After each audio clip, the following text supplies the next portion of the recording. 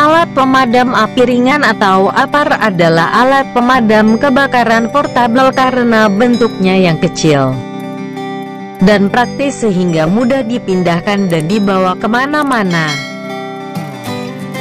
Fungsi APAR atau alat pemadam kebakaran portabel itu sendiri adalah mengatasi suatu titik api atau kebakaran yang masih dapat terkontrol.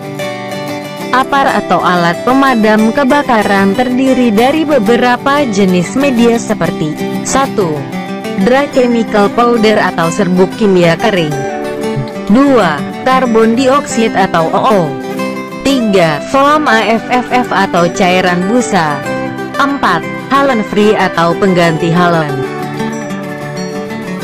Apar atau alat pemadam kebakaran portabel biasanya berbentuk tabung pemadam api yang berukuran 1 kg sampai dengan ukuran 9 kg sehingga kita bisa dengan mudah dapat menyesuaikan ukuran dan jenis alat pemadam kebakaran untuk dipergunakan di mana saja. Misalnya untuk ukuran 1 sampai dengan 2 kg, biasanya dipergunakan untuk kendaraan pribadi atau kendaraan berat lainnya sedangkan untuk ukuran 3 sampai dengan 9 kg biasanya dipergunakan untuk ruangan yang tidak lebih dari 20 meter persegi. Ada alasan mengapa apar atau alat pemadam api ringan dibuat dengan ukuran demikian, yakni agar memudahkan orang melakukan penanggulangan dini dengan cepat dan mudah saat terjadi kebakaran. Alat pemadam api ringan sangat sesuai untuk dimiliki oleh setiap proyek dan bangunan demi meminimalisasi risiko saat terjadi kebakaran.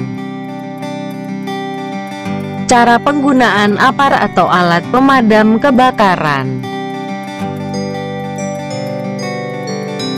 1. Buka segel pin pengaman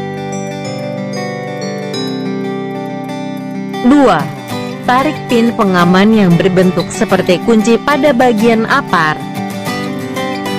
3. Peganglah tabung dan arahkan selang pada titik api. 4. Tekan tuas pegangan atau kartu yang biasa terletak di atas tabung untuk mengeluarkan isi tabung. 5. Posisi semprot ikuti arah mata angin agar tidak terkena diri kita. 6. Semprotlah pada titik sumber api dari sisi ke sisi dengan gerakan seperti menyapu. Ingat, semprot ke sumber api bukan ke lidah api.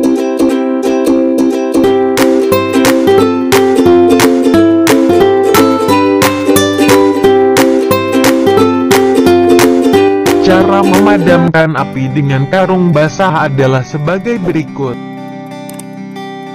1. Masukkan seluruh bagian karung goni ke dalam air.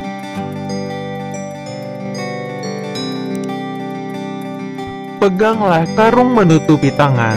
Posisikan karung di samping tubuh agar tidak menutupi pandangan. Berjalanlah menuju sumber api dengan tidak melawan arah angin.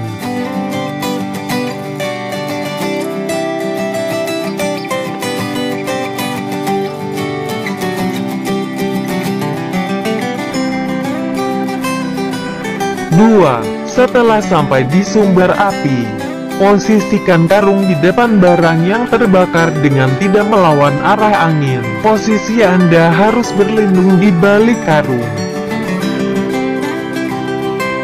3. Selanjutnya posisikan satu kaki ke depan dan tutuplah kobaran api secara perlahan. Jangan Anda lemparkan karung goni basah yang Anda pegang.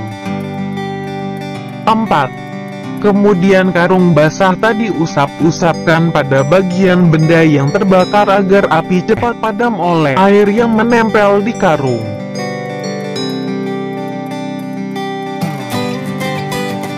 5. Setelah sekiranya api padam, angkatlah karung dengan posisi tangan yang memegangi tertutup karung seperti cara nomor satu.